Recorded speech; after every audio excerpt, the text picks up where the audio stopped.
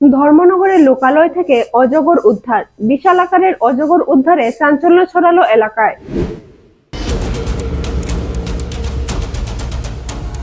বুধবার সাত সকালে ধর্মনগর পদ্মপুর গোরখনাথ আশ্রম সংলগ্ন নিবাসী উত্তম পালের বাড়ি থেকে উদ্ধার বিশাল আকার একটি অজগর সাপ।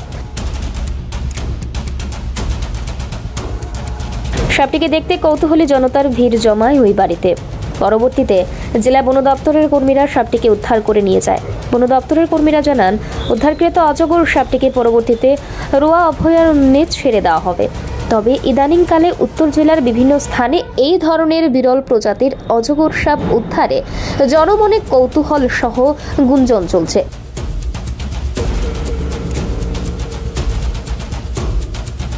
আসলে কি খাদ্যাভাবের কারণে, নাকি বন ধ্বংসের কারণে আজকাল গভীর অরণ্য ছেড়ে লোকালয়ে চলে আসছে অজগরেরা?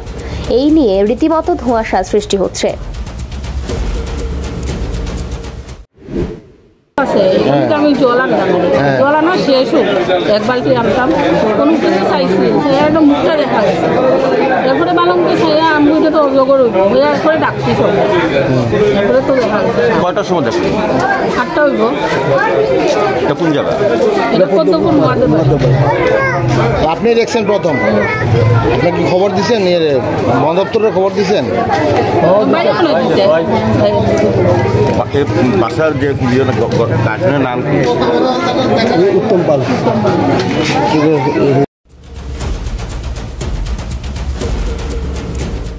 Bureau report voice eighteen.